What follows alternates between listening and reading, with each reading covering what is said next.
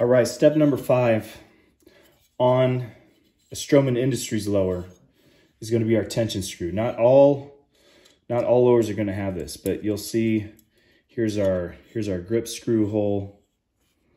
Here's our tension screw hole. It just takes a 1 8 hex. We're going to load that up in there and screw it through.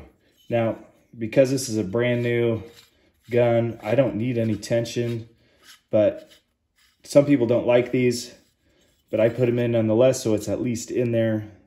See right there, I just take it flush with the rest of the lower plate right there. That's all you got to do. Step number five, tension screw, done.